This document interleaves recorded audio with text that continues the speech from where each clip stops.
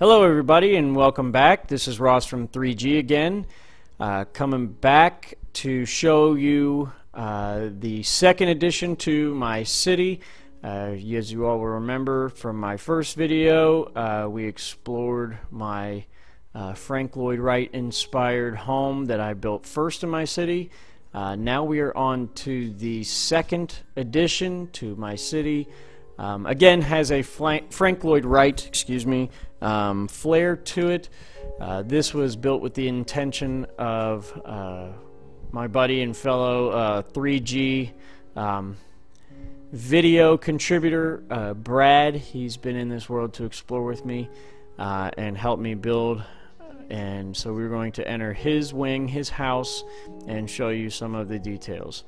Let's go on in. Um, low ceilings uh, when you first walk in. That's by design. Uh, there is um, more upstairs than downstairs, but uh, the decorative block and everything a little bit more of a solid base than in my home. Uh, my home had a wood floor. His has got a stone. Uh, so a little bit uh, sturdier. Um, kind of reflects the person that it was built for. Um, Sweet. Again, big screen TV. Brad, man, wish you were here to see this one right now. You have a big screen TV. I wish I could say that I planned it that way.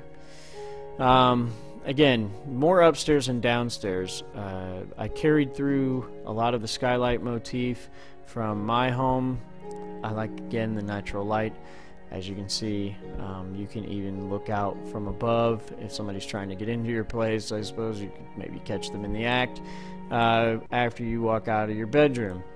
Uh, here is the bedroom. It is the only bedroom in the house, um, complete with bookshelf uh, styling, chest to leave things, and oh, it appears uh, Brad has added his own two additions to the house. Uh, I guess he's got a couple trophies from walking through this world. Good for you, Brad.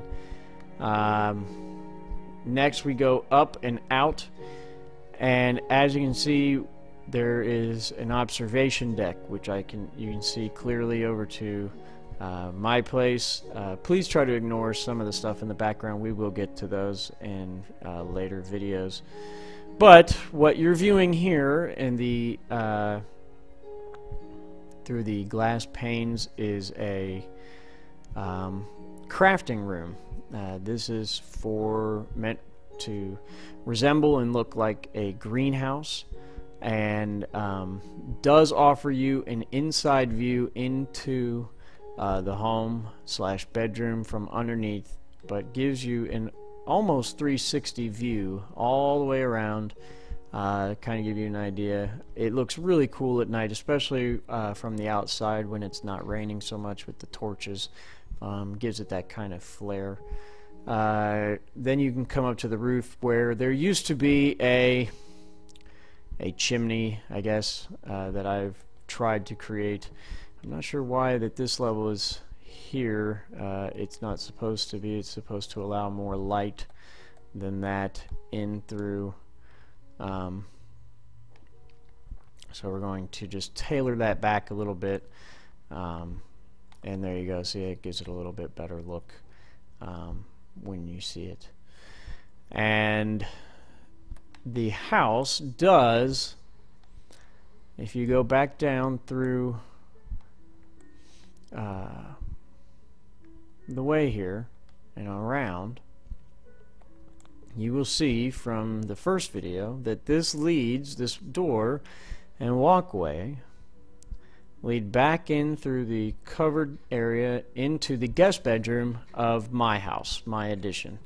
Um, this is for, again, uh, meant more for fun, uh, not really, I guess, practical uh, survivalist measures, being that that would keep nobody out of my place. That would be an extra way in. Uh, so again, here is the second addition to the uh, city, and this is Brad's house.